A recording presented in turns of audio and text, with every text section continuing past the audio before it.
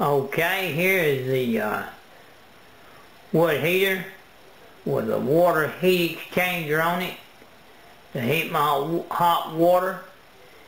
It's a thermosiphon, does not contain any controllers, heat exchangers, or pumps, or anything like that. It's all natural.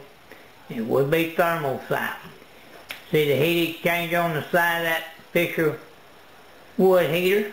I'll show you the pipe going up through the ceiling. The poppet valve on there for safety. It goes up to 80 gallon tank in the room above.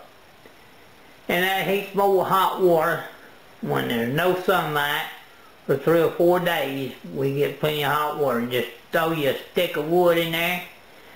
Thing does a very good job. Thanks.